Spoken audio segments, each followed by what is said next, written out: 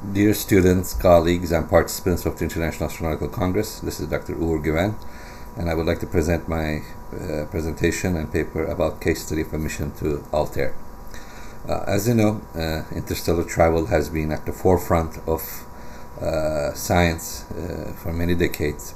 Uh, many people have been looking, many scientists have been, engineers have been looking for ways to make interstellar travel a possibility rather than just something that science fiction can uh, imagine.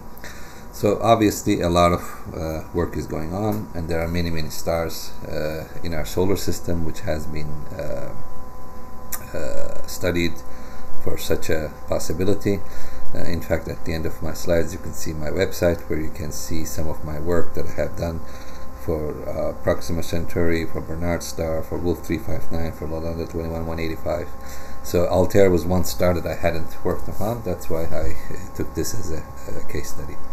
Now, if you look at uh, about Altair, uh, roughly it's about 16.73 light years away from Earth.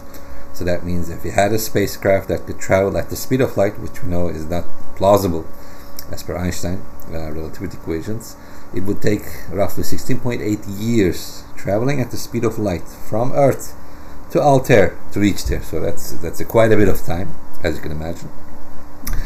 Uh, Altair is a part of a star group known as Alpha Aquilae.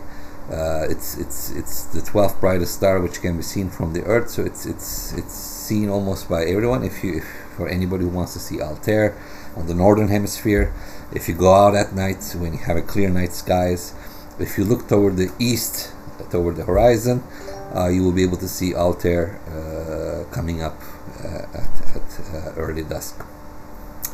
So, uh, some interesting properties of Altair that I want to talk about. first of all, as you can see in the slide in the picture, it has a very egg-like shape. Uh, because it has a very fast rotational velocity of roughly 286 kilometers per second. So, because of this fast uh, uh, speed, the the poles are flattened out into an egg shape in Altair, and the, the picture you see on the slide is an actual representation of uh, how it looks like. Uh, interestingly, Altair is 10.6 uh, times brighter than our Sun. Uh, has around 1.63 solar radii. It has double the Sun's mass, uh, roughly about 1.79 the mass of the Sun. Uh, and if, if interesting, it's much younger than our sun. As you know, our sun is around 4.5 billion years. Uh, Altair has an age of 1.2 billion years. Uh, it does emit X-rays. Uh, so, uh, though it's bigger than the sun, it's younger than the sun. Uh, so it's an interesting destination, and it's something visible that we can see in our night skies.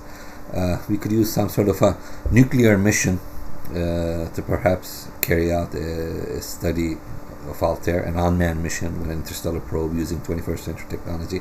I do have other papers and presentations on how to make this a possibility, how to use nuclear reactors, gas core nuclear reactors, or other forms of advanced space propulsion to get to stars. So I'm going to request you to look up my name and look at those other presentations which describe this in detail.